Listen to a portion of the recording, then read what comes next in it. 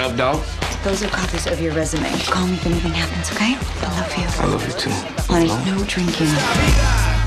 Breakfast. Oh. Eva Longoria stars in Harsh Times as a working lawyer who gets fed up with her boyfriend's slacker mentality and his best friend, who she feels is a bad influence.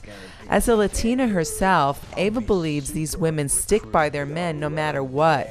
It's ironic that on the big screen and little screen, she can't escape these types of macho men. The men that I work with, both in Desperate Housewives and Harsh Times, are pretty hard headed and stuck in their ways.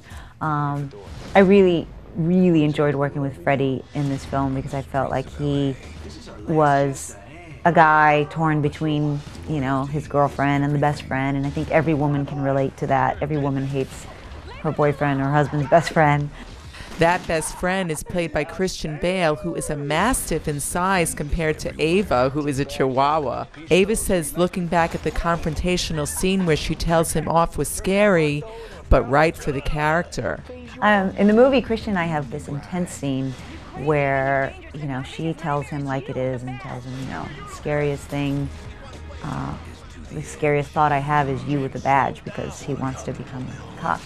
And um, when I look back at, at that scene, I think, uh, what am I doing going toe to toe with Christian Bale? It really scares me.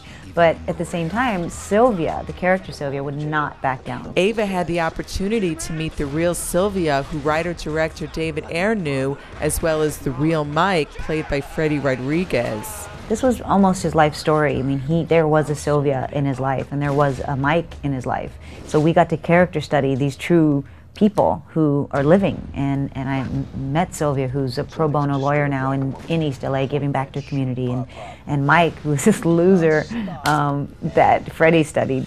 Harsh Times opens today in theaters.